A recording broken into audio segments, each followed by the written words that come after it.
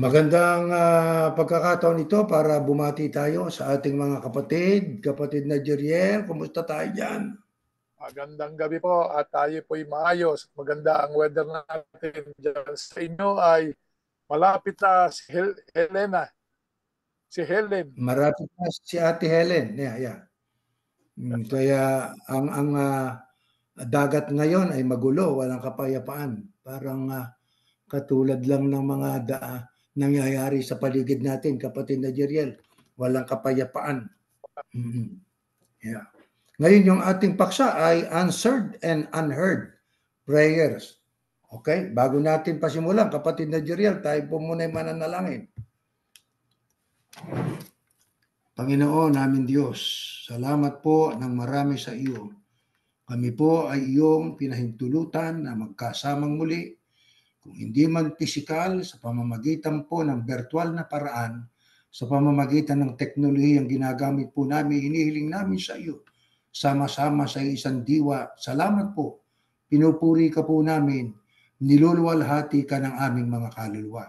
Aman Diyos sa pag-aaral po namin, aming kang inaanyayahan. Samahan mo po kami, Ama, upang ang mga salita mo ay siyang aming matanggap. Ito po ang magpatibay sa bawat isa sa amin lalo na po sa panahon ito ng aming paglalakbay sa mundo ay pahirap ng pahirap, pagulo ng pagulo, ang pananalangin ang siyang pinakamabisang sandata na dapat po naming mataglay at sa tuwina ay amin pong ginagawa. Ito'y hinihiling po namin, lakip ang paghingi ng kapatawaran sa aming mga kasalanan sa pangalan po ng iyong anak, ang Panginoong Yahusya na aming tagapagligtas. Amen. Kapatid na Jeriel, ano po, yan ang ating paksa, no? Answered, yung sinagot at mga hindi pinakinggang mga panalangin. Oho. Ang tanong natin ay lahat ba ng ating hinihiling mula ng tayo, bata at magkaisip? Lahat ba ay ating natatanggap sa Panginoon Diyos? Yan ang tanong. Eh, malamang sa ang isasagot ng marami, hindi lahat ng ating hinihingi ay ating tinatanggap. Pero bago po natin tanggapin ang sagot ng Biblia tungkol po rito, ay atin po munang aalamin, mga kapatid, anong gusto ng Diyos habang tayo po ay naglalakbay sa magulong sanglibutan na ito. Sa first slide po, ganito nakasulat. Sa Philippians chapter 4 verses 6 and 19. Hindi natin makita ito. Alisin natin ito. Ayan. Ayan. Nakasulat dyan. Don't worry about anything but pray and ask God for everything you need. Always giving thanks for what you have. Una, yun ang dapat nating tanda, no? Nandiyan yung salitang contentment, no? Always giving thanks for what you have. Kaya anumang meron tayo, ipagpasalamat natin. Sagana, konti, o kaya ay wala. Salamat pa rin sapagkat ultimo yung buhay, yun ang pinaka-ultimate na ating pinagpapasalamat eh. Yung tayo buhay, di ba? Ang sabi pa sa 19, May God will use His glories, riches to give you everything you need.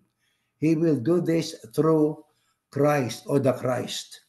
Kaya sa ating pong pangaraw-araw na paglalakbay, mga kapatid, ano po ang uh, hinihintay ng Diyos na dapat natin gawin? Ang sabi po riyan ay maliwanag na tayo'y dapat manalangin at tayo humingi ng ating mga pangangailangan sa ating Panginoon Diyos. Ginagawa po ba natin yon?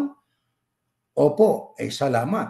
Tinutugunan natin ang ating pong trabaho na tayo po ay dapat na magpasalamat at manalangin sa Panginoon Diyos. At ang sabi pa riyan, palagi always giving thanks for what you have. Ipinagpapasalamat po natin anumang meron tayo sa buhay na ito, kapatid na Uriel. Ano ho?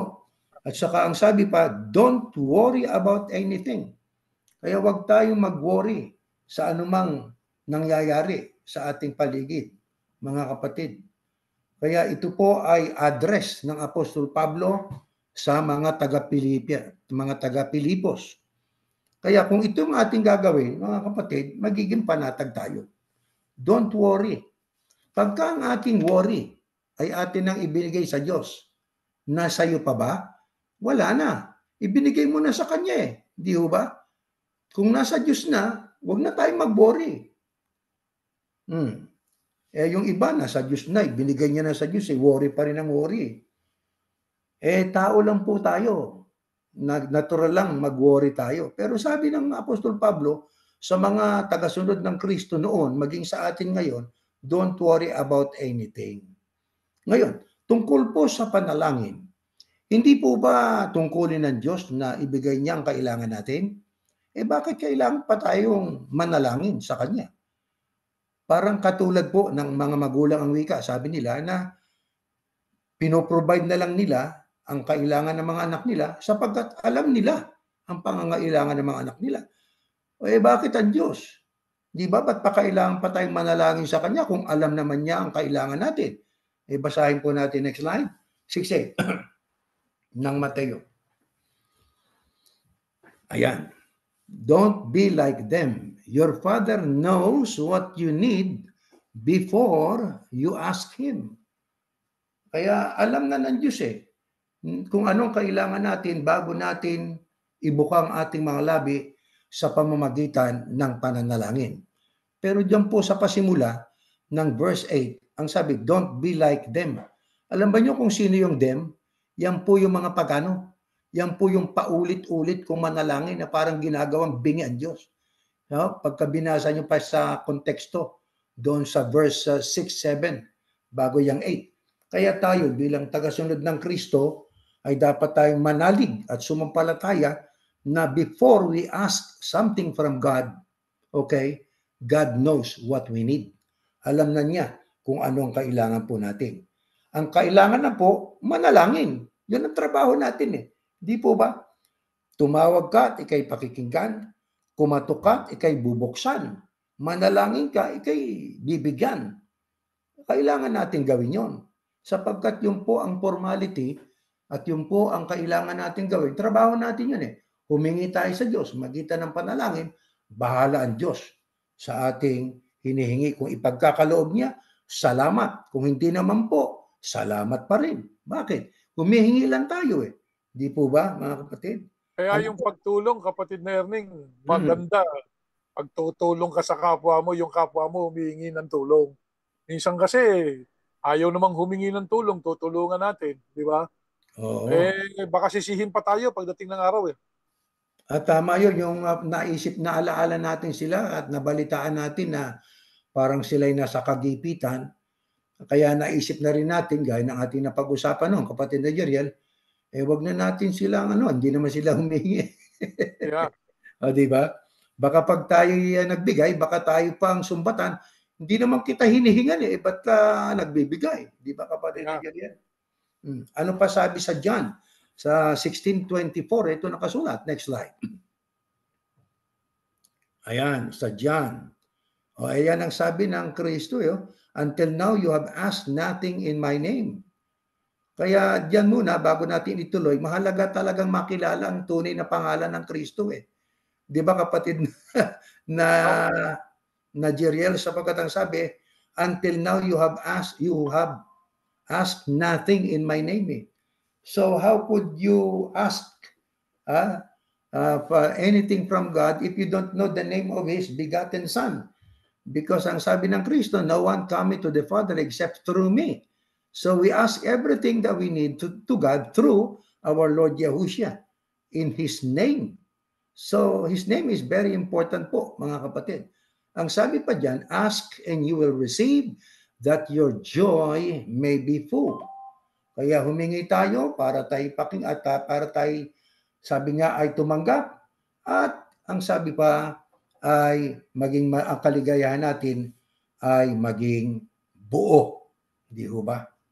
Kaya mga kapatid, ang tanong po sa mga binabasa po natin mga talata, yan po ba ay ating pong ginagawa? Yan ang question eh. Madaling basahin pero kailangan ating ma-internalize. Ating pong maisakabuhayan po yan mga kapatid. Ngayon na ito tanong natin. Ah, since God knows what we need before we ask, why do we need to still pray to get to God? Ay, ba't kailangan pa rin tayo manalangin kapatid na Jeriel? Sa unang Pedro 5.8. Ayan. Kasi, ang sabi diyan, ah, doon sa sa unang ah, okay anyway diyan po sa Tisala, sa Thessalonica basahin natin yan ayan una never stop praying utos po yun di ba pero pagka binalikan po natin ang unang Pedro 5.8 hindi natin kasama diyan alam nyo mga kapatid ang tinutukoy doon mayroong um, ah, ano doon pag binasa natin ano let me read that po dito sa aking Biblia. Sa unang Pedro 5 ah, hindi natin na isama yan pero ito po ay ah, isang tagpo na isinulat ito ng Apostol Pedro para sa mga tagasunod ng ating Panginoong Yahusya na ang sabi niya po sa talatang yan sa ARB natin babasahin ay ganito mga kapatid. Atin hong ah, pakinggan ang nakasulat sa unang Pedro sa 5 at ang talata po ay 8. Ito nakasulat din eh. Ayan, hindi lang natin na isama, kapatid na Henry. Control yourselves and be careful. The devil is your enemy, and he goes around like a roaring lion looking for someone to attack and eat. Bakit kailangan tayong dapat manalangin palagi sa Panginoon Diyos? Sapagkat ang prayer, ang panalangin ay bahagi po ng pang-araw-araw nating armor. Katulad ng ating pinag-aralan ng nakaraan. Armor of God. Kailangan natin yung prayer eh. We pray to God because we need His protection. Why? Sapagkat may kalaban tayo eh. Na yung kalaban natin yon, yun din ang kalabang pangunahin ng Diyos. Sino po yon? Ang devil, ang diablo. Na yan po ay tinulad sa liyong umuungal na naghahanap ng kanyang masisila. Nababago yung araw-araw, no? Natakbo ng panahon, takbo ng ating ng ating paligid. Pero ang Diablo hindi nagbabago ng goal. Anong goal ng Diablo? Na pati ang mga alagad ng Kristo ay kanyang mahila at maakit. Ang mundo ay naakit na niya eh. Pero yung mga mula sa tinawag, may pinili. Yung mga pinili hanggat maaari, gusto din niya maagaw. O kaya kailangan natin ng prayer. Kaya ang sabi ni Pablo, next slide, ayan no, never stop praying. Bakit? Because the devil never stop trying to devour us. Kaya ang katapat noon, never stop praying. Ano pang kasunod? Ito pa, sabi ni Pablo, Colossians 4.2. Next slide. ganito po ang ating mababasa. Next slide, kapatid. Ganito ang ating matutunghayan. Never stop praying. Be ready for anything by praying and being thankful. Kaya be ready for anything eh, sapagkat anumang bagay o sino man ang gustong sa ating magpahiwalay, yun po ay dapat nating labanan. O, kaya ang sabi, be ready for anything by praying and being thankful. Sapagkat maraming bagay sa mundo ang humihila sa atin para tayo ay palamigin sa paglilingkod, para alisin ang pananampalataya sa puso at isipan natin. Kaya ang sabi ay never stop praying, inulit-uli ni Pablo. Hindi lang doon sa aklat ng Tesalonika, maging sa Kolosas. Be ready for anything by praying and being thankful. Kaya diyan po ay ating na, na, nadarama ang kahalagahan ng panalangin. Yan po ang, hini, ang panghihikayat na ginawa ng Apostol Pablo doon sa mga taong naakit sa Ebanghelyo ng Kristo.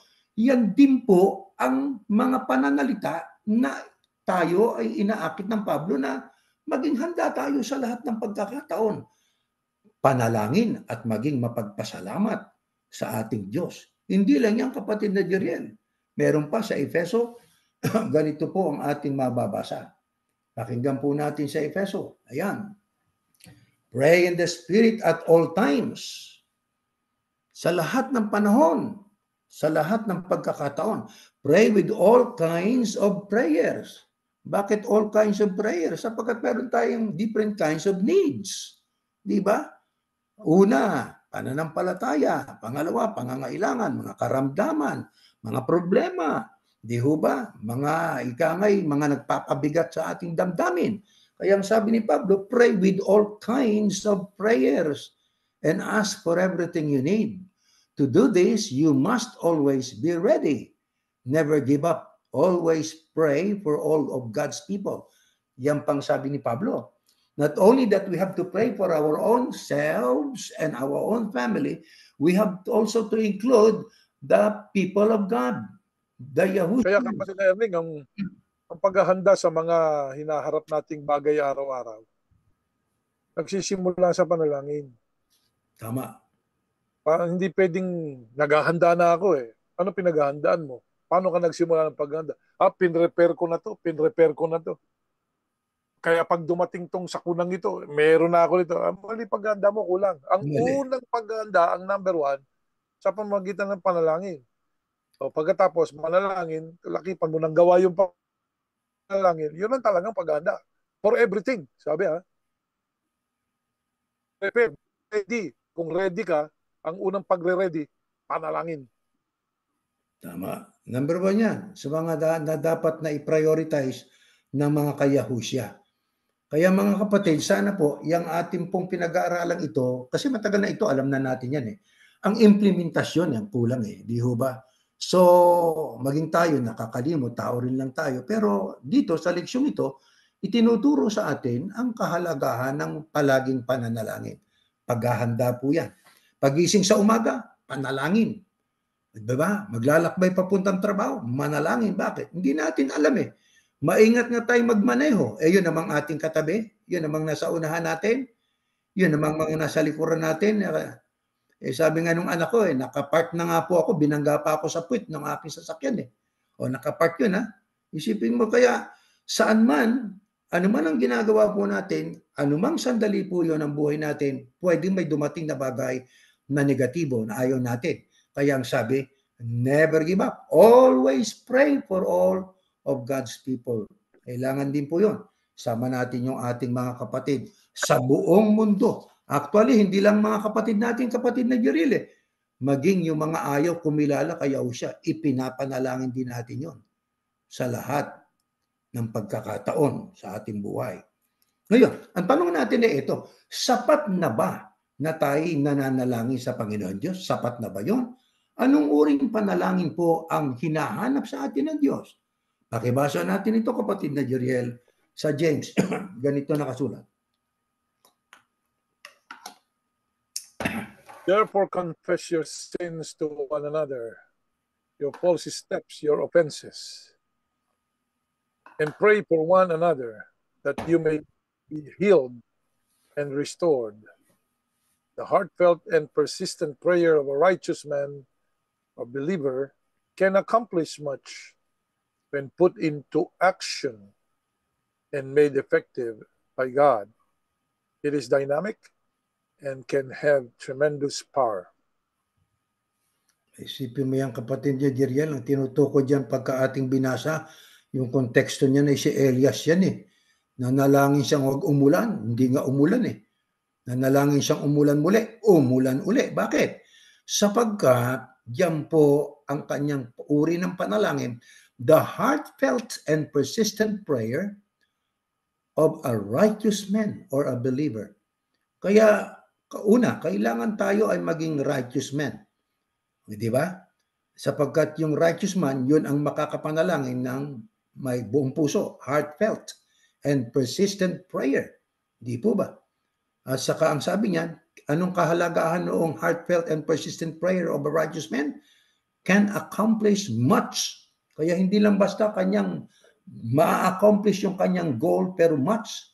Higit doon sa inaasahan when put into action. Kaya pagka yung hinihiling niya, dahil sa kanyang heartfelt at persistent prayer, pinagkaloob ng Diyos, nagtagumpay siya, higit pa sa inaasahan niya. Oh, when put into action, made effective by God. Doon po sa kalang magiging epektibo dahil sa gawa ng Diyos eh. Di ba? Pagka naging righteous ka, heartfelt and prayer mo persistent, gagawin ng Diyos yan. Made effective by God. It is dynamic, makapangyarihan, and can have tremendous power. Talagang dynamic, makapangyarihan, at uh, talagang may kahanga-hanga na na kapangyarihan. Ayun nga lang panalangin ni ni San ni ano nga ni Elias, di ba kapatid na Jeriel? Nanalangin siya sa Ama, pinakinggan siya. Oh, hindi umulan ng matagal na panahon. Pagkatapos, nanalangin siya uli, umulan uli. Yun ang sinasabi yan made effective by God, it is dynamic and can have tremendous power. Di po ba? Kaya uh, ang heartfelt prayer po ng righteous man, mahalaga po yun. Ang tanong natin, how can one become righteous? Paano magiging righteous ang tao? Yung sasabihin niya, ako po kasi ay ganito eh. Ako po ay ganito. Ako po ay masigla. Ako po ay talagang nagpapakabanal. Ganun ba sasabihin natin? Ito next slide. Sa Romans. Ayan. For with the heart, a person believes in Yahusha as Savior, resulting in his justification, that is, being made righteous, Ayun. being freed of the guilt of sin, and made acceptable to God. And with the mouth, he acknowledges and confesses his faith openly, resulting in affirming, confirming his salvation. Kaya ang pagiging righteous pala, kapatid na Jeriel, ay hindi natin magagawa sa ganang atin. Ang sabi ni Apostol Pablo sa mga taga-Roma, uh, for with the, with the heart a person believes in Yahushua as Savior resulting in his justification. Pag sinabing justification, inari, that is being made righteous. Kaya nanggagaling pala sa pananampalataya, kaya ho siya. Kaya mahalaga ang pananampalataya. Pero anong uring pananampalataya? Yung pananampalatayang pinuput natin ng nasa action, may kalakip na gawa. Yun ang mahalaga po ron. Kaya tayo, pagka ginawa po natin yon, sumampalataya tayo, ang Kristo ang ating tagapagligtas. Gaya ng sinabi ng Diyos, siyang bugtong kong anak, siyang inyong pakinggan. Ang sabi, that is being made righteous. Kaya mahalaga ang pananampalataya. Kaya ho siya. O, hindi lang sapat na ating alam na siya po ang ating tanging tagapagligtas. Alam din natin ang pangalan niya, Yahushua. O di ho ba? Kapagkat ang pangalan ng Diyos ay nasa Kanya, ang pangalan ng Diyos ay Yahuwah. Yahushua. Nakita ninyo? Kaya ang pagiging righteous po, yan po ay sa pamamagitan ng pananampalataya sa Kristo. Ang sabi nga po ay uh, sabi ay believing and having faith in the Messiah is to live a righteous life. Oh, and to live a righteous life is to live as Yahushua lived. Love as he, he loved us and give as he gave. Kaya ang pagiging righteous natin ay maging katulad tayo ng Kristo. Kaya nga ang sabi ng Apostol Pablo eh, magkaroon kayo ng pag-iisip na ito ay nakay Yahushua ang Kristo. Bakit? Eh ang Kristo ay banal eh. Eh ano tayo ng Kristo? Inari niya tayong ano, sangkap ng katawan niya nang tayo nakinig at sumunod sa tinig niya. Hindi po ba? Kaya bilang sangkap ng katawan niya, siya ulo natin. Kung ang ulo ay righteous, righteous ibig din ng Kristo na yung na, mga taong followers niya maging righteous din. Kaya we have to live a righteous life just like our Lord Yahushua. We have to love like our Lord Yahushua. We have to give like our Lord Yahushua did. Hindi po ba, mga kapatid? Ngayon, sabi nga, God will give us what we ask for if it is the right thing things for us. Ibibigay sa atin ng Panginoon Diyos ang ating hiningi kung yun ay tama para sa atin. Kaya yun nga, answered and unheard prayers. Pakikinggan niya kung yung hinihingi natin ay sa ating ikabubuti at sa ating ikala, ikalalapit natin sa Diyos, hindi sa ikalalayo. Sapagkat mayroong talata sa Biblia na ang sabi sa Santiago kapatid na Jeriel, Humingi kayo at hindi kayo tumatanggap. Yo, unheard yung prayer niyo. Bakit? Humingi kayo ng masama para magugol niyo sa inyong kalayawan. Mabigyan mo ko, payamanin mo ko na ako'y makalibot sa buong mundo at makatikim ng ila, makapasok sa kasino, makapagsugal at mag-inom. Anong klase yan? Sa tingin nyo, ibibigay ng Diyos yun? Eh, sa bibig mo mismo sa isip mo, eh, gagamitin mo sa kasamaan. Kailan Kaya yung mga oh, tuloy kapatid na Jerry. Sasabing uh, hindi anya pinapakinggan ng Diyos yung panalangin ko eh. Hindi, hindi anya sinasagot yung panalangin ko. Mm-hmm. Hindi, may sagot na sa iyo. Ang sagot niya sa iyo, silence. Sabi niya, hindi ko dininig. Yun ang sagot sa'yo. Hindi ko dininig yung hilihiling mo. Yun lang Diba? yun. Eh, yung hinihiling mo kasi masama eh. Yeah. So, pero dininig ka niya. Di ba? Dininig ka niya. Sinagot ka niya. Ah, sabi nga, sinagot ka niya. Hindi nga lang ibinigay sa'yo. Oo, hindi nga lang. sa'yo, ah, yung panalangin mo, o di narinig ng Diyos. Di ba pinakinggan niya? Oh, eh ano yung ibig sabihin unheard? Ibig sabihin, binaliwala ng Diyos yung iniling mo. Pero may Tama. sagot. Ano sagot? sagot. Hindi ko ibibigay sa'yo. O, di ba? Oo. Tahimik, tahimik ang Diyos. Di ba? Oo. Tahimik ang Diyos. Ibig sabihin, yun ay ba dapat mabasa natin? Aba, eh siguro hiningi ko ay hindi tama, kaya unheard yung prayer ko. tama yun. Tama po yun. Yung... Ngayon, ito po yan. Oh. Kung ang righteous ay naging, ah, sabi nga, ang panalangin niya, ay heartfelt, as a persistent ang prayer niya, no? Ang Sabi nga ay pinakikinggan ng Diyos. Pero ang tanong, lahat ba ng righteous? Ha? At saka yung mga panalangin, ika nga, ay mula sa puso, ay pinakikinggan ng Panginoon Diyos? Ngayon, bago natin sagutin yan, ito po ang ating tanong. Meron bang halimbawa sa Biblia na sabi nga eh, hindi naman siya lingkod ng Diyos. Pero nang manalangin, pinakinggan? Oh, kasi yung righteous, eh, dapat righteous tayo eh. Para maging righteous, put your trust and faith in our Lord Yahushua, being our Savior. Pero lahat ba ng righteous pinakikinggan ng Panginoon Diyos? Actually, merong hindi righteous eh, pero pinakinggan eh. Eto, basahin natin. Next slide po. Ayan. Now at Caesarea Maritima, there was a man named Cornelius, a centurion of what was known as the Italian regiment, a devout man, and one who, along with all his household, feared God. He made many charitable donations to the Jewish people and prayed to God always. Prayed to God always. About 9 hour, 3 p.m.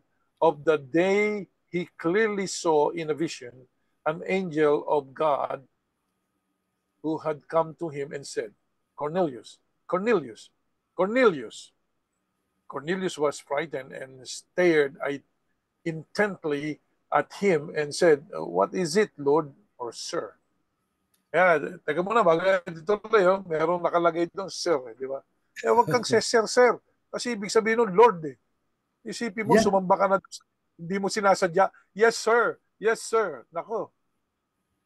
Ay, Lord maliban pala na kung sundalo ka. And the angel said to him, Your prayers and gifts of charity have ascended as a memorial offering before God, an offering made in remembrance of his past blessings.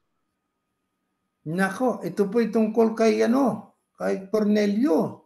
Yeah. Hindi hindi po ito yung Cornelio na na siyang nagbautismo kay Apostol Pablo nung si Pablo ay nasa daan patungo sa Damascus. Ito yung ibang yung nagbaptismo ka sa kanya, si Ananias eh. Oo. si, yan, yan, di ba? Ah, ika nga dito, ay may binabanggit na Cornelio. Isang sinturyon ito, mga kapatid. Di ba? Na ang pangalan, ay ito Italian regiment. Sa mga kapatid, hindi ito Hudyo, kapatid na Jeriel. Hindi ito Italiano. tagasunod. Oo. Hindi ito tagasunod ng Kristo. Anong uring pagkatao meron ito? A devout man and one who along with all his household aba tinuruan niya ang buong pamilya niya matakot sa Diyos. Ah, kumikilala sa Diyos ito, kapatid ni Jirel, lamang hindi tagasunod ng Kristo. He made many charitable donations. Naku po, ayan o. Maram- Uso na pala noon ng foundation, kapatid na Jirel. Oo, nagdo-donate. May Nagdodonate charity na nun pa eh. Di ba?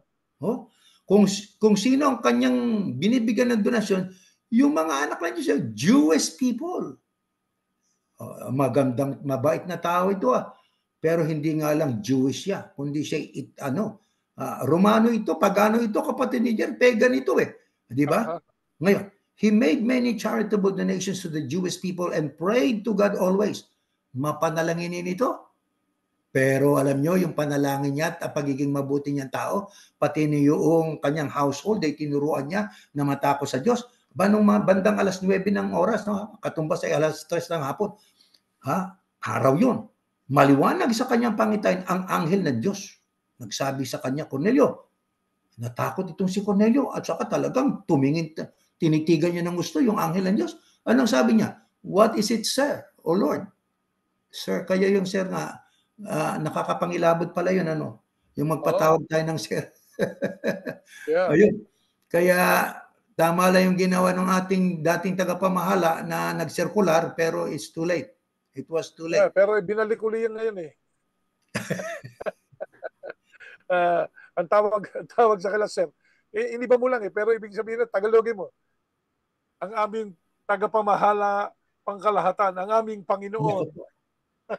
yun lang yun eh. Yun nakatumbas nun eh. Yun din ang katumbas nun eh. Yan ang aming yeah. sir eh. O, yan ang aming Panginoon. Oh. Kasi yung sir, yeah. Lord. Oh. Lord, yeah. Ngayon, yung panalangin nitong taong ito ay pinakinggan kapatid na Jeriel eh. Ayan oh. And the angel said to him, Your prayers and gifts of charity have ascended as a memorial offering before God. Nakarating, pero isang memorial lang na offering. Hindi, o oh, narinig, pinakinggan. Her, his prayer was uh, heard by God through the angel of God. Pero ang sabi, your prayers and gifts of charity have ascended as a memorial offering before God, an offering made in remembrance of His past blessings. Kaya meron pong tao pala na kahit hindi po siya ika nga ay kabilang sa tagasunod ng Kristo noon, partikular itong si Cornelius, ano po, isang pagano po ito, pero kinikilala niya ang Diyos ng mga Jewish people. Ang katunayan nga po, eh, binigyan pa nga niya ng donasyon. Hindi yung kapwa niya mga pagano, kundi yung Jewish people eh. Hindi po ba? Kabaligtaran naman ang atin, tayo sumasampalataya, na tayo kabilang sa mga tagasunod ng Kristo, ang binibigyan natin yung hindi natin kasama rito. Kabaligtaran, ano? Pero ang ating dapat mapansin po dyan, pinakinggan eh. Pero isang memory lang yung kanyang panalangin na yon. Actually, kung itutuloy po natin ang pagbabasa, eh, pinahanap ng anghel itong si Pedro eh. Yung si Simon na Pedro, si Pedro, tinatawag na yung Simon, ano? Puntahan mo yon, makinig ka doon. Ang totoo, sila ay nakinig po kay Pedro, pinangaralan ng Apostol Pedro at binautismuhan ang buong sambahayan. Saka sila naging tagasunod ng Kristo.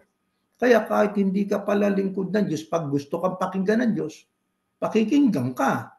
Kapag, bakit ganon, kapatid na Jeriel? Eh, Sabi nilalang niya eh. Ha? Nilalang din niya yun eh. Yun eh. Oo. Oh, oh.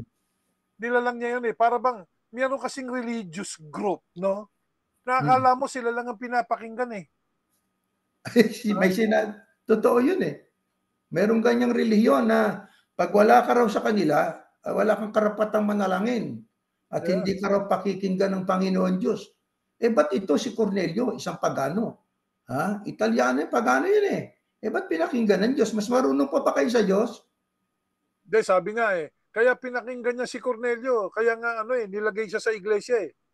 O, pinatawag yeah. niya yung apostol eh. Apostol, hindi naman ministro. Hindi yung ministro nyo. Baka sabihin nyo kayo eh. O, kayo, pagtatawagin na kayo ng Diyos. Di ba? Yeah. Uh, mawawala na kayo dyan sa maling religion. Uh, dati kasi, yung religion na yan, ng iglesia ni Kristo, napunta natin uli yan. Yeah. Yan eh, nasa tamang linya eh. Pero nung nagsimula na tayong tawaging Panginoon, yung tagapamahalang pangkalahatan natin. Totoo yun. Di ba? Uh, sa, sa katawagang sir, na nahalata din nung dating tagapamahalang pangkalahatan. Teka muna, huwag niyo na ako tinatawag na sir. Kasi napatunayan niya ito eh. Ito. Yeah, basa niya yan eh. Eh, naku, Lord pala yung, huwag niyo akong tawaging Lord. Ah, di ba? Yeah. Kaya ang ipinalit niya sa panalangin, sa halip na ang ipanalangin nyo ay ako, ipanalangin nyo, panalangin kayo kay Yahusha, yun ang inyong tawagang pangalan. Tama. Eh, nung simula, nagkalito-lito yung mga kapatid, eh, di ba? Kasi pabalik-balik eh. Sabi, ama, tapos, o sa iyo na, tapos eh, pagdating do sa, uh, o Diyos, naming anak, naku, nagkabali-baliktad na. Nagkamali pa, naging Diyos ng anak. yeah. Yan, Pero yung, yan ang isa yeah. sa mga bagay na inalis, di ba? Pero binabalik uli nila ngayon eh. Ibinabalik kapatid na Jeriel, kahalatang halata. Ito pa, meron pang isang tao na talagang ito'y sabi nga, eh, pinili man siya ng Diyos, pero ano, mabuti basahin natin ang kasaysayan nito. Na, next slide po. Ayan. Sino pa? Ito, sa First King, ito pong ating mababasa. sa 21, 27 hanggang 29, uh, ganito Now, po. Ahab, yeah. When Ahab heard these words of Elijah, he tore his clothes put on sackcloth and fasted, and he lay in sackcloth and went about dejectedly mourning. Then the Mm. word of Yahuwah or the Lord came to Elijah the Tishbite, saying, Do you see how Ahab has humbled himself before me? Oh, tinanong ng Diyos si, si, ano, si Ela, El- Elias Tesbita. Eh, di ba? Yes. Mm. Oh, nakita mo ba si Ahab kung papaano nagpakumbaba sa harapan ko? Ah, Yeah. yan ang tanong ng Diyos sa kanya. Because he has humbled himself before me, I will not bring the evil or catastrophe in his lifetime. Ah, Yun. but in his son's days, I will bring evil upon his house. Oh, yan. Yan ang, ang, nalala- ang nanalangin si Ahab eh. Yan yung Mhm. hari, di ba? Yeah. O yung Ngayon. sino ba asawa niyan? Si ano, si Jezebel. Ayan, ako yung Ahab ngayon, aba manalangin ka rin, di ba? Magpakumbaba ka rin. Kung ikaw yung Ahab ngayon, magpakumbaba ka rin. Pero tiyak na yung anak mo, tatamaan. Yeah, yan nakasulat dyan, no? But in his son's days, I will bring evil upon his house. Ito mo, ang sabi ng Diyos kay Ahab, at sinabi niya po kay, El, kay Elias, oh, sabi niya, do you see how Ahab has humbled himself before me? Ting- Nakita mo ba kung paano nagpakumbaba si Ahab? Nag- Kasi kailangan magpakumbaba ka eh. Kilalanin mo yung kasalanan mo eh. Di ba? Hindi lang basta Yeah. ka mananalangin. Kilalanin mo yung mali mo. Oh. Ngayon, ang sabi ng Diyos, kasi nagpakumbaba siya, dahil sa nagpakumbaba siya sa harapan ko, eh hindi ko na ipadadala ang masama sa kanya. Wala na akong ip- wala na akong ipadadalang masama sa kanya o anumang catastrophe o mga sakuna sa kanya. Sa buong buhay na niya, sabi niya. Oh. Yeah. Sabi ng Diyos diyan. Pero doon sa anak niya, nako, yung anak niya. Alam Yun ang parurusahan. Evil Wow. day upon his house. His house, yeah. Kasi itong si King Ahab ay naakit siya nung asawa niya, kapatid na Jeriel eh. Yes. Sa pagsamba doon sa ibang Diyos eh.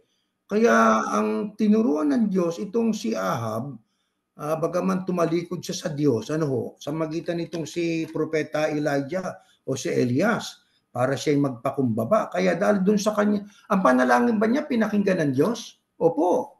Ayun o, ang sabi, because he has humbled himself before me, sabi ng Diyos, I will not bring the evil or catastrophe in his lifetime.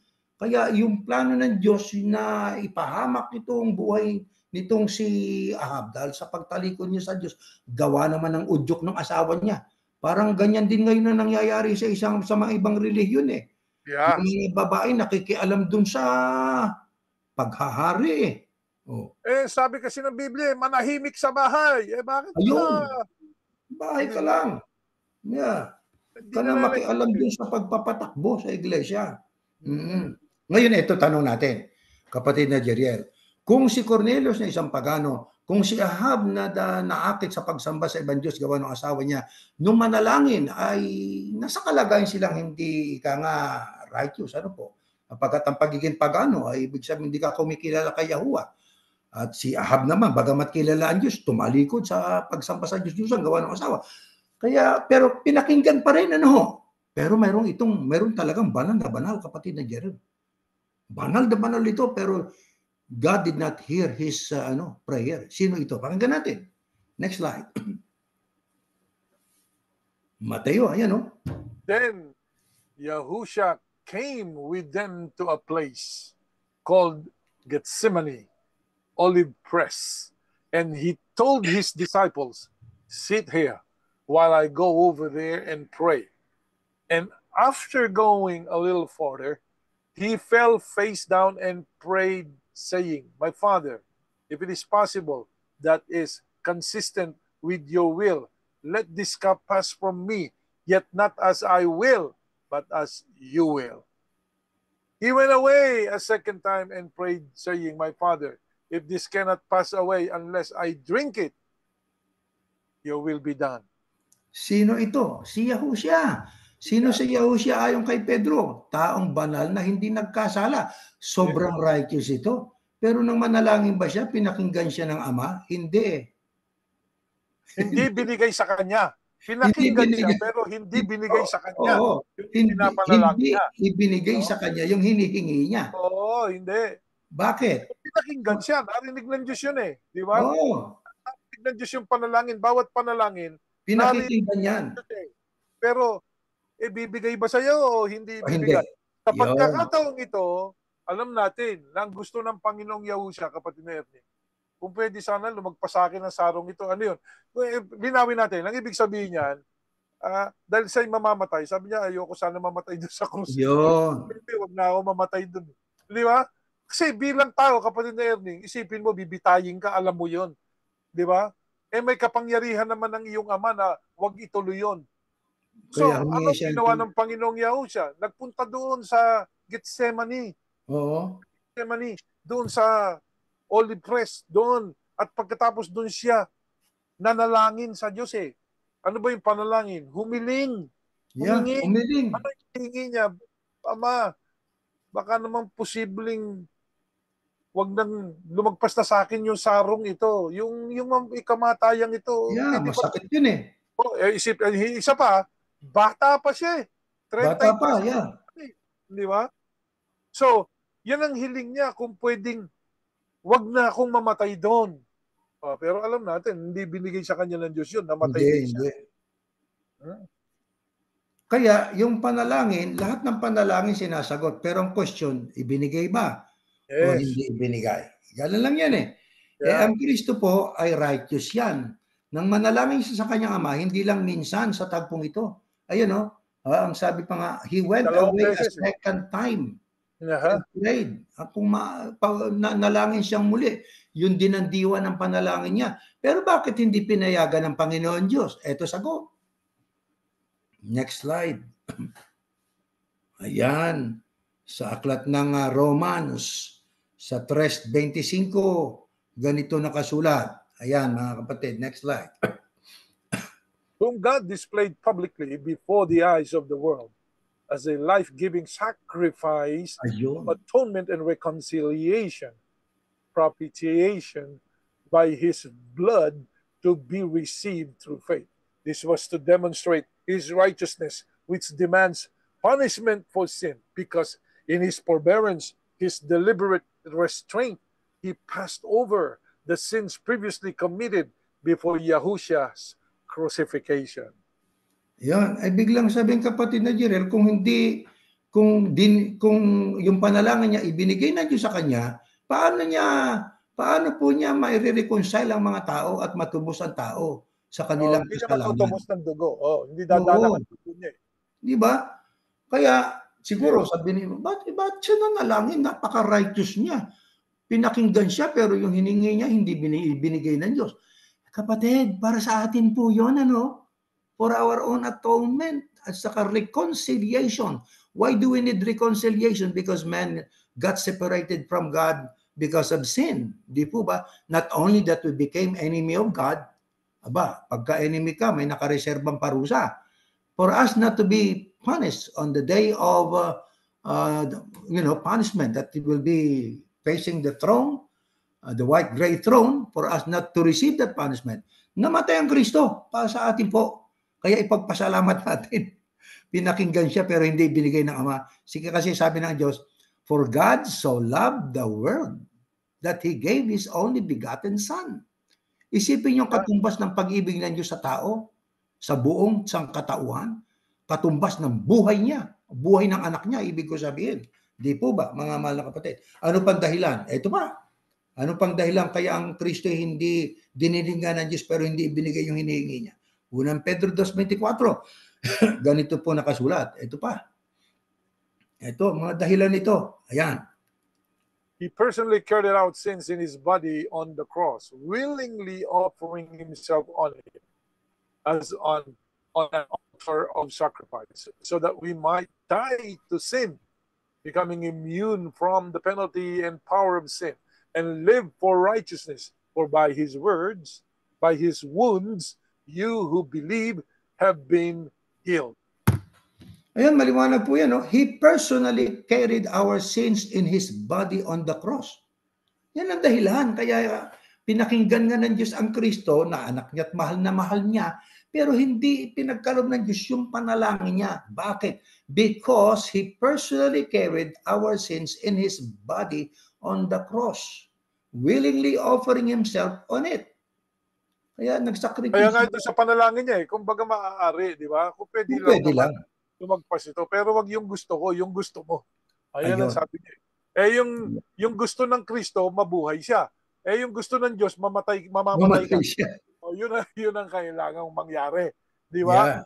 Kaya sabi niya na dyan, personally, carried out our sin in His body on the cross, willingly offering Himself on it. Kaya naging willing na siya eh. Willing Di ba? na siya. eh. Bilang tao, sino ba naman ang taong gusto mamatay? Sino ba naman? Oo. Pagka ang Wala. tao gustong mamatay, medyo questionable ang kanyang pa, pagka Oh, pananampalataya niya sa Diyos eh. Yeah. Maring inihiling niya, hirap na hirap na ako, di ba? Kung may sakit, di ba? Hirap na Yeah. hirap na ako. Ang hinihiling kalimitan ng tao, pagalingin mo ako. Di ba? Yeah. yun ang hinihiling natin. Pagka tayo may sakit, pagalingin mo ako. Wala namang tao, ewan ko, kung meron, mag, meron ganun tao na na pwede ba patayin mo na ako kasi hirap na hirap na ako eh. meron din siguro ganun, pero Meron din siguro ganun. normally, ang hinihingi natin na mapagalingin mo ako, bigyan mo pa ako ng buhay. Di ba? Totoo yun. Yun ang normal. Normal Pero eh.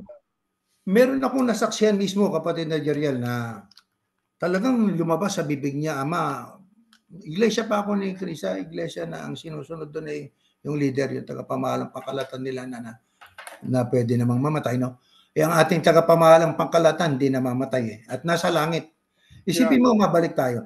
Mga leader ng Dawismo, siya yung Buddha, si Gautama Buddha, lahat ng mga nagtatag ng mga major religions, ang kanilang mga leader ay patay. Ang ating leader namatay at pero nabuhay. Hanggang ngayon nasa langit. Kaya sinong leader ang susundin nyo? Yung leader ng Buddha? O ang leader ng ano, ng tunay na kaya ho siya. Eh, yung ibang leader eh, buhay pa pero patay na eh. Dahil ikinulong na. Nakakulong. Parang patay na rin, kapatid Wala, na wala, wala nang life. Wala na siyang life. Ngayon, ito pa, ano pang dahilan? Bakit hindi hindi ipinagkaloob ng Ama ang panalangin ng kanyang righteous na anak? Ito pa po, basahin natin. Galatia 1.4. Lahat ng ilang dahilan lang ito na dapat ma-refresh sa isipan po natin. Ito po ang nakasulat. Who gave himself as a sacrifice to atone for Ayun. our sins, to save and sanctify us, so that he might rescue us from this present evil age. Yun ang dahilan. In accordance with the will and purpose and plan of our God and Father. Eh, kasama sa plano eh. Di ba? Plano eh. Kasama sa Plano. plano. Kaya may script na eh. May script ba? Nakasulat na yung script eh. Kailangan matupad yun eh. Yeah. Kailangan matupad yun.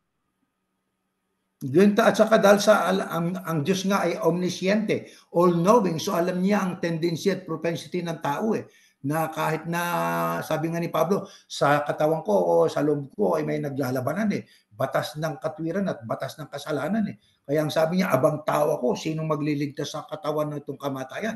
Ibig lang sabihin, nangangailangan lagi tayong manalangin sa Diyos, kapatid na Jeriel eh. Bakit? Tama. Bakit? Sapagkat siya lang ang pag-asa po natin eh. At ang isa pa sa dahilan, kaya kung dininig man ng Panginoon Diyos ang panalangin ng anak niya, ang totoo'y nakarating sa kanya, ang pruweba ay hindi lang niya ibinigay yung hinihingi. Bakit? Ang sabi, ha? who gave himself as a sacrifice to atone for our sins, to save and sanctify us. Sa makatwid, yung mga na- nakinabang sa dugo ng Kristo, we have our obligation. Mayroon tayong responsibility. Ano yun? Sanctify us.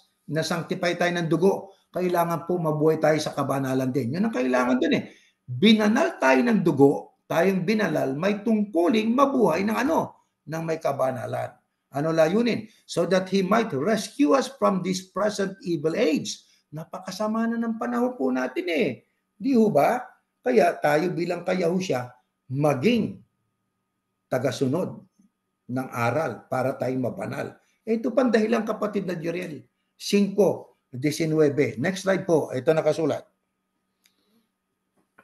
2 Corinthians 5.19. Pakinggan po natin ito. Next slide. Yan. That is, that God was in the Christ, reconciling the world to himself, not counting people's sins against them, but canceling them. Kinansel na ng Diyos yung kasalanan eh, di ba? Yeah. And He has committed to us the message of reconciliation. That is restoration to favor with God. Sipin niyo kapatid na Jeriel ang layunin, no? Kaya nung naging willing na ang Kristo nung madinig niya ang sagot ng tatay ng ama niya eh. 'Di ba? Na anak, ah, pinakinggan ko panalangin mo pero hindi ko ibibigay yung hinihingi mo. Eh bakit? Sapagkat ikaw ang magiging daan para ma-reconcile ang tao sa Diyos eh. 'Di ba? Yeah. Bakit kailangan natin ng reconciliation? Sapagkat dati naman tayo mayroong relation eh. Eh dahil sa sin, tayo po ay nahiwalay. So we need reconciliation. But how could we attain reconciliation with God?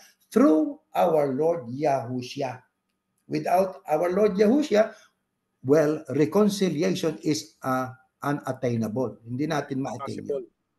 Yeah. Kaya kailangan ano eh, kailangan mamatay siya. Dahil yung nga kasalanan nasa katawan niya na eh. Binigay ng Diyos sa katawan Yun, niya. inari na siyang may Kaya sala. Yun, eh, di ba? Ngayon, sa atin naman bahagi, sa parte naman natin, ah, kailangan ding mailibing tayo dahil namatay na yung ano, kailangan tayo mabautismo. So, Tama. yan ay magkakaduktong na plano ng Diyos eh, para sa tao. Napakaganda ng plano ng Diyos sa tao. Pinakikita ng Diyos, pag mabu makakabuti sa iyo at sa marami, okay? Pag Bibigay niya. makabuti sa iyo at sa marami, ibibigay ko sa iyo. Pero pag hindi makabubuti sa marami at hindi mo rin magagawa yung dapat mong gawin, hindi ko ibibigay sa iyo. Ito bibigay. Eh, isipin mo, sa ating Panginoong Yahusha, nananalangin siya. Sabi, hindi ko bibigay sa iyo yan. Bakit? Eh, una, eh, hindi makakabuti sa marami. Hindi sila mapapalapit sa akin. Di ba? Hindi Tama. sila mapapatawa sa kasalanan nila. O, hindi sila mare-reconcile sa akin. Mawawala ang restorasyon ng pag-iibigan namin at ng eh, pag-ibig ko sa tao. Ikaw yung dahilan. Eh. Sa naman, kaya hindi ko papakinggan yan sapagkat hindi mo matutupad yung trabaho mo. Tama yun. Yeah. Trabaho niya yun eh. Mm. Trabaho mo yan. Eh, Kaya kita, simula pa ng lalangin ng mundo eh. I- nasa isip ko na ikaw eh. Ikaw, Tama. ikaw ang pagbibigyan ko ng lahat ng ito eh. Pero kailangan kang magsakripisyo. Kailangan kang mamatay para sa mga taong nilalang ko rin. Nakita mo? Yan, yan Yeah. ang simpleng dapat na maintindihan ng tao tungkol sa panalangin eh. Kasi pagka yung iba, eh, hindi naman sinasagot panalangin ko, hindi na ako mananalangin. Aba, mali. Mali po yun. Hindi. Hin- Sinagot yung panalangin mo, hindi nga lang binigay sa'yo. Hindi lang ibinigay. Bakit? Eh baka makakasama sa iyo, tsaka maka, makakasama sa marami. Mm-mm. Oh. Di ba? Makakasama sa iyo at makakasama sa marami. Kaya, Kaya, kaya, ang. Diyos, ibibigay niya yung hinihiling natin kapag makabubuti. Yeah. Hindi Tama tayo po yun. ng Diyos ng makakasama para sa atin. Yeah. Ngayon, ito pa. Ano pang dahilan? Ito pa, unang Pedro. Next slide. Malapit na tayo matapos. Dalawang talata na lang. For indeed, the Christ died for sins once for all, the just and righteous for the unjust and unrighteous. Nakita nyo? Mm. The innocent for the guilty. So that he might bring us to God. Isipin niyo yung trabaho niya yan. Having been put to death in the flesh. Namatay siya sa flesh eh. Yeah. But made alive in the spirit. Ayan. Yan ang isang mahalaga pang bagay eh, na dapat maintindihan ng tao. No? Sabi nga, namatay ang Kristo para sa just at saka sa righteous at ganun din sa unjust at unrighteous. Huwag nyo sinosolo, mga iglesia ni Kristo. Sinosolo nyo eh. Di ba? Bakit? Ba't sasabihin nyo, kayo lang? Oh, di ba? Hindi kayo lang. Actually, kapatid na Erning, ang kaligtasan, inilalaan ng Diyos para sa lahat ng taong nilalang niya. Oh, yeah. Ano man ang pananampalataya nila. Ano man ang gusto ng Diyos, makilala niya yung anak niya. Pero sabi nga eh, it's possible, but it cannot be done totally. Hindi, hindi. Hindi Ah, mangyayari done. O sige nga. Sige nga, ano Hmm. katunayan na it cannot be done totally? O sige, sino ang nakapag-mission sa North Korea? Sige nga, mag-mission ka sa North Korea. Tingnan natin kung, kung ma- makapag-mission ka ron. So, doon, ah, marami ring matitinong tao. Sasabihin ba natin eh, komo komunista sila eh, masama na lahat sila. Hindi naman eh, di ba? Wal- Wala naman tayo dun eh. Pero meron ding mabubuting tao dun. Ano gagawin ng Diyos dun? Meron din siyang nakalaan para sa kanila. Nananalangin din ba yung mga tao dun? Hindi natin alam. Di ba? Baka palihim nananalangin sila. O, dahil pagka nanalangin sila in public, baka sila katayin ng kanilang gusto doon na sabi nga eh, na, na presidente nila eh, di ba? Presidente, yeah. Kaya kaya sabi nga ang Diyos sa ay nag sabi nga eh, nakasulat diyan, ha, si ang Kristo namatay for the sins once for all, that for the just and the righteous, for the unjust and the unrighteous, for the innocent and for the guilty. Yeah. Kaya namatay ang Kristo tungkol diyan. Kaya may mga pagkakataong bibigay eh. May, pero yung tumanggap sa Kristo, alam natin ang ibibigay sa kanila, kapatid na Erning. Mhm. Rapture. Hindi ba? Rapture sila. Rapture Rapture. sila. Qualified Oh, sila. eh yung iba, aba meron pa. Pagbubukod-bukodin. Oh, tapos doon sa loob ng Millennial Kingdom. At pagkatapos doon sa pinakahuling bahagi, yung paghuhukom na ng Diyos. Kaya righteous, unrighteous ka. May religion ka, wala kang religion. Gusto ng Diyos, maligtas ka. Kaya ang, ang pinakapinali ng Diyos, ang kanyang titignan, hindi kung ano ba pananampalataya mo. Hindi. Hindi naman bubuksan Ang pananampalataya mo eh. Alam niya na yung paniniwala mo eh. Mm. So ano ang bubuksan niya doon sa paghuhukom niya? Doon pagkatapos ng isang libong taon, kapatid na Erling. Yung aklat ng ano, Ng gawa. Yeah, mga Oo. gawain mo. ah, hindi, hindi na yung tungkol sa sinampalatayan mo ba anak ko? Hindi mo ba sinampalatayan na ng anak ko? Eh, ito na ang bubuklatin ko. Bubuklatin ko, ano ba ginawa mo nung buhay ka pa dyan sa mundo? Ayun. Nakita nyo? Yun ang Yeah. nakasulat. Eh, pero doon sa reliyon nating kinagis na na, ah, doon sa dati nating kinabibilangan, mga ministro pa tayo, Oo. pag wala ka dito, sumpa ka na, sa impyerno ka na. Naku po, napakatatapang magsalita ng mga taong yon. Hindi naman totoo pinagsasasabi. Alam nyo, kapatid na Erning, yan ang tinatanong natin doon sa mga nakakadaupalad pa nating mga miyembro ng Iglesia ni Cristo. Magbalik na kayo, magbalik na kayo. Yan ang sinasabi sa atin. Paliwanag mo bakit? Tapos sasabihin niya, eh hindi, alam nyo naman yun. Hindi, paliwanag mo bakit? Ikaw magpaliwanag. Ikaw na nagyayaya. Hindi ba? Nag-aaya ka eh. Nag-aaya kang magbalik loob sa iglesia. Eh, ang tanong ito, humiwalay ba kami sa Diyos? Ayan. Eh, ang mga bagay na yan. Pinananalangin namin kayo. O salamat. Pero intindihin yung mabuti. O, yung panalangin nyo, hindi bibigay ng Diyos. Bakit? Eh, ibabalik ba kami ng Diyos sa mali? Eh, tanong mo. Yeah, Kapatid hindi, ayaw ng Diyos nun. Oo. Kasama na tayo sa pinili. eh. Hindi na tayo ibabalik na sa mga tinawag Iniro lang. ko na yan eh. Ba't ibabalik ko pa doon sa tinawag kung hindi ko nga pinili? Oo. Ah, Eh, Pero sa ibabaw ng lahat kapatid na Jeriel, ano ang ibig ipaalam ng Diyos kaya hindi niya dininig ang pana dininig niya pero hindi pinagkalob yung panalangin ng anak niya. Ito po, next slide. Ah. Next slide. And he, that same Yahusha, is the propitiation for our sins, the atoning sacrifice that holds back the wrath of God that would otherwise be directed at us because of our sinful nature. Ayun eh. Ayaw ng. Diyos mapahamak tayo eh. Di ba? Ayaw niya eh. Sinagot niya yung panalangin ng Kristo na wag na mamatay doon. O, Okay, eh, tayo lahat lahat. tayo, ano tayo? Ano tayo ngayon? Lago Lipol. tayo lahat sa Diyos, di ba?